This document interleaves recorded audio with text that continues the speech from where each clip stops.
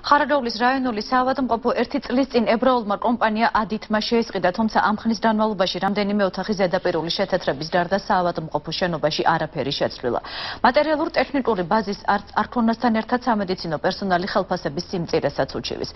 როგორ პირობებში უხდება ხარაგაულის მოსახლეობა სამედიცინო პროცედურების დავლა ნახეთ ჩვენ სიუჟეტში.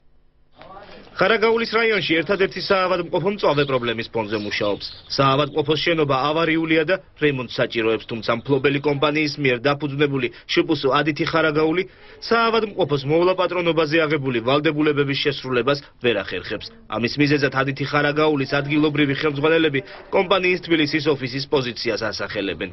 უნდა დაწყილიყო მშენებლობა სტაციონარის. ძირითადად ერთადერთი აი ეს იყო და დანარჩენი ახლა რავალდებულებაც აიღო ის კიკეთდება, მაგრამ ეს არ არის საკმარისი. საავადმყოფოს მეტპერსონალისთვის ერთ-ერთი უმთავრესი პრობლემა დაბალიანაზღაურება, რადგან მათი თქმით, მფლობელი კომპანია შემოსავლის მეტწილს 60%-ს თავად იტოვებს. შესრულებული სამუშაოს 35%-ს გვაძლევს ჩვენ. რასაც შევასრულებთ სამუშაოს 35%. ამ 35%-დან ხდება მე გადანაწილება ექიმზე და ექთანზე და სანიტარზე. 60, 30 და 10%. 60 ექიმს, 30 ექთანს და 10% სანიტარს. კეთევან აბრამიშვილის თქმით, ხშირად თანამშრომლებს ამ წირიანაზღაურების მისაღებადაც პროტესტის ღიად გამოხატვა უწევთ. კომპანია ადითის თბილისის ოფისში კომენტარს არ აკეთებენ.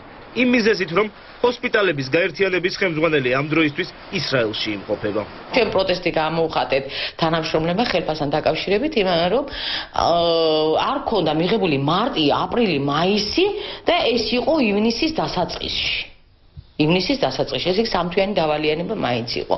რაიონული საავადმყოფოს გარდა ხარაგაულში არის კიდევ ერთი კლინიკა, რომლის მშენებლობა ქართულ ჯგუფმა გასული წლის დეკემბერში დაასრულა. თუმცა ობიექტის ჩაბარებამდე რამდენიმე დღით ადრე კლინიკაში ხარაგაულის გამგებელი რამდენიმე თანხლებ პირთან ერთად შევიდა და სამუშაოების შეწყვეტა მოითხოვა.